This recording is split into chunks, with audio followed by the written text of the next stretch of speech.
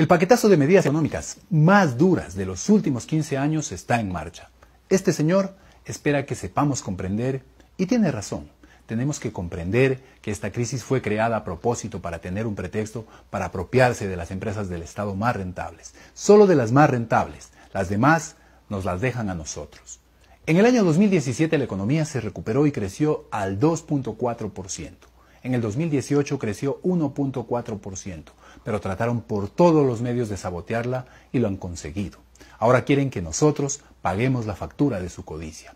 Si sube la gasolina, subirá todo. Aumentará la pobreza, aumentará la delincuencia. Y no va a ser suficiente. En el 2020 vendrán por más y nos dirán que es necesario despedir más de 100.000 personas. Y también nos van a decir que hay que subir los impuestos a los pobres y a la clase media y que hay que bajar los impuestos a las grandes empresas. Eso es lo que firmaron con el Fondo Monetario Internacional. La codicia entiende solo un lenguaje, el de las calles.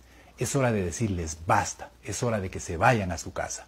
Esperemos que los codiciosos que crearon esta crisis sepan comprender.